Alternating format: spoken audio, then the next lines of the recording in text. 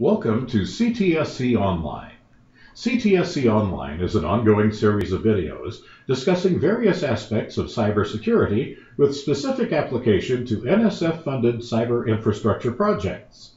CTSC Online is made possible by funding from NSF. Probably the most important part about incident response is preparing yourself. Incident response is about having all the right systems and services in place. By preparing, you can get the alerts you need and get the needed information when it's important. Preparing allows you to be ready when an incident happens. First, let's talk about some terms. These terms will, while not comprehensive, give us a good start on important words within incident response. Alert. Alerts may come from monitoring systems or from an individual. It's a notice that tells you something's going on and you might want to take a look at things. They're triggered by something unexpected happening and indicate that you should probably take a look at what's going on. Many times, alerts are not caused by incidents, but by other things going on that you need to take a look at. An event is something more than an alert. You can actually see the change in the system. An alert or a number of alerts might make you aware of an event. But whereas an alert indicates something might be going on, with an event you can actually see that something has happened. Events indicate that you should really spend some time looking into things. A computer security incident is something that has reached another level. It's not just an event or an outage, it is an actual security event. Someone is actually on the system or has done something to the system. Incidents are what this series of videos is about so we will go into much greater detail on incidents during this series. Information sources are log files, people, alerts, basically anything that provides you the information you're going to use throughout the process of handling the incident. These sources help you with your situational awareness and what you are going to do. Monitoring can be everything from your system administrator, who knows what is going on day to day and is familiar with the functioning of the system, to intrusion detection systems you have in place and network analysis tools. It is anything you have that is looking at what is going on with the systems, from data flows to internal operations. Investigation is the activity of figuring out what has occurred in enough depth to understand what next steps need to be taken to remedy the situation. The Incident Response Team, or IRT, is the team you put together that will be looking into any incident you might have on your system. Later in these videos, we will go into detail on how to create this team, who should be on it, and what type of skills are needed.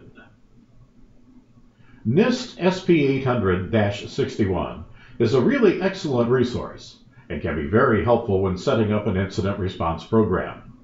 NIST has done an excellent job with laying this document out. NIST breaks incident response up into four distinct areas preparation, detection and analysis, containment, eradication, and recovery, and post incident assessment. The preparation part is all about getting things set up and put in place. During this phase, you begin to identify your information sources and figure out how you will get information from them. Preparation is not so much about preventing incidents as it is about getting your resources put together for dealing with an incident. Detection and analysis is all about knowing when an event is a security incident opposed to just some random activity. During this phase, you take the time to investigate the event and make a determination on how to move forward. During this phase, you will be making use of much of the information and resources you put together during the preparation phase.